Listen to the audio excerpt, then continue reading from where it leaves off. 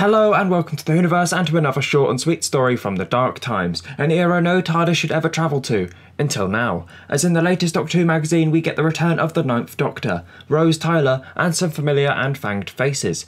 This is the comic Monstrous Beauty Part 1, an adventure which sets the scene with the 2005 TARDIS team, back on the pages of DWM in issue 556, as part of the Time Lord Victorious event.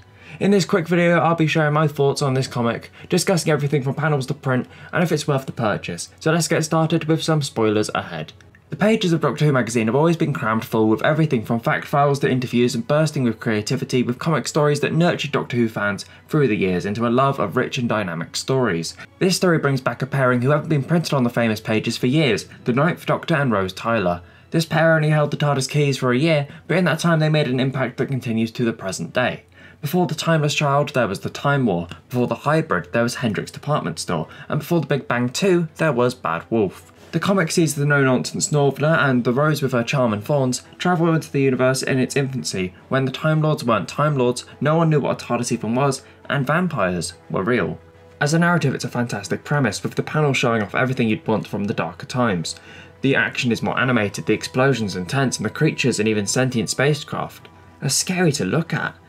The writing from Scott Gray matched by the art of John Ross, who previously worked on adventures featuring this TARDIS team, bring their talents back to the table, with the characters' dialogue, tone, and similarities captured well across the majority of the adventure, from the subtlest of mannerisms to the appearance, transporting me back to those days as a kid, reading comics and watching the mysterious alien and down to earth teenager fighting foes and angering aliens.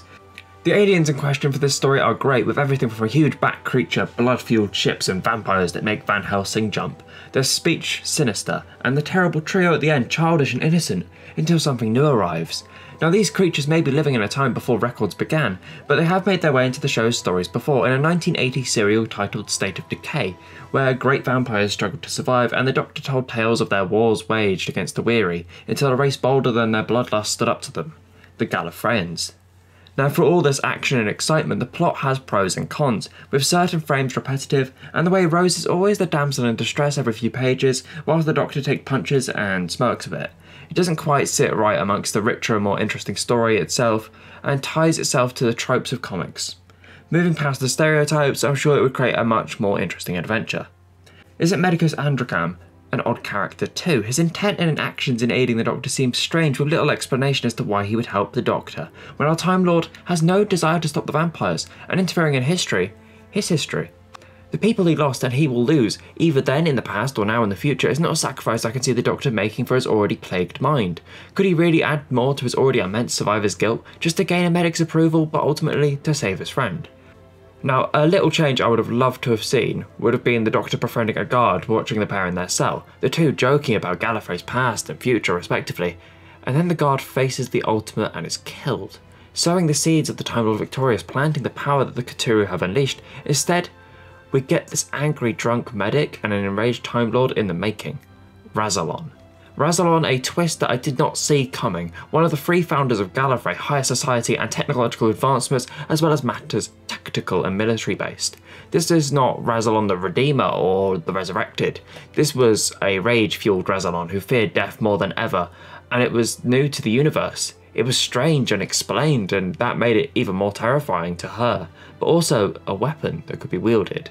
The president in the past was blunt and violent, worn and weathered, and a character as arguably scary as the feared fanged forces in their castle. The story follows all of the traditional narrative theories you'd expect from an episode, but on a more action-packed and vibrant sense of scale. It opens our eyes to a forbidden time in the universe and shows the Doctor and Rose's level of fear matched, as the two enter the unknown in pages that push you to read more, each panel full of colour and creativity. The world crafted by the team brings a sense of unique darkness to the scary spectacle of Doctor Who, with the characters cunning and actions primal, and defensive from conversation to confrontation. It's definitely worth a read if you're a fan of the Series 1 of the revived show. It is a fitting fairy tale to read as we enter the spookier time of year, the TARDIS team up we've always wanted more of, with added vampires. This isn't Twilight, instead it's a comic that shines.